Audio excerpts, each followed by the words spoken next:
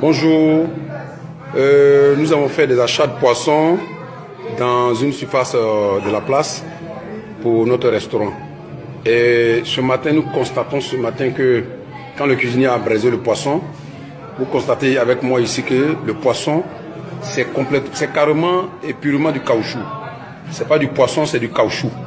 Voilà, donc euh, voilà ce qui est déjà braisé, c'est du caoutchouc, et voilà ce qui n'est pas encore braisé. Donc vous allez vérifier avec moi, le cuisinier va faire la démonstration, vous allez voir. Voilà, le cuisinier va faire la démonstration, tout est caoutchouc.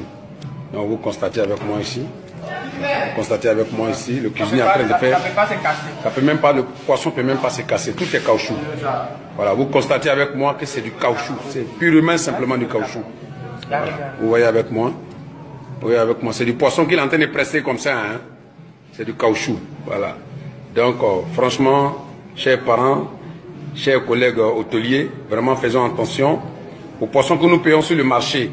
Faisons très très attention aux poissons que nous payons dans les, dans les surfaces. Faisons très attention. C'est du caoutchouc.